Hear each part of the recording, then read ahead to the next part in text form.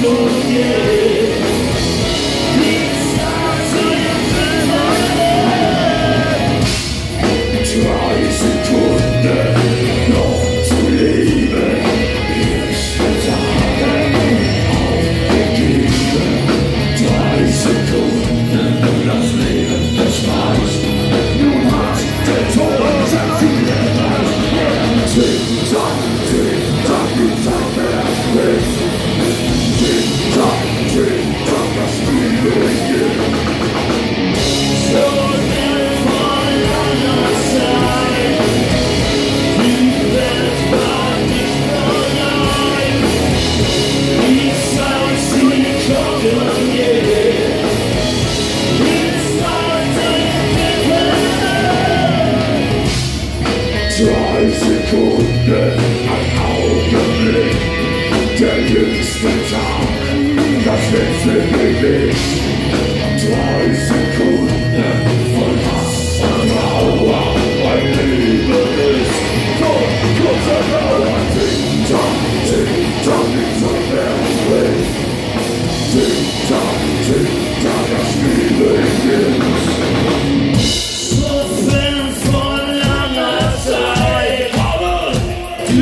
Welt war nicht